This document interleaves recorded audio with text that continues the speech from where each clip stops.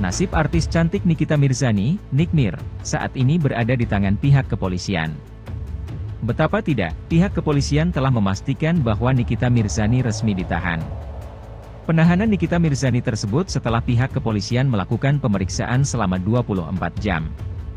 Hal ini disampaikan oleh Satuan Reskrim Polresta Serang Kota, yang mana surat penahanan Nikita Mirzani telah dikeluarkan.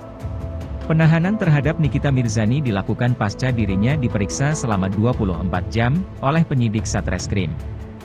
Menurut Sinto, sebelum ditahan, Nikita akan diperiksa kesehatannya terlebih dahulu. Sementara itu, Kabit Humas Polda Banten ini belum merinci Nikita Mirzani apakah akan ditahan di Mapolresta Serang Kota atau akan dibawa ke rutan kelas 2 Serang.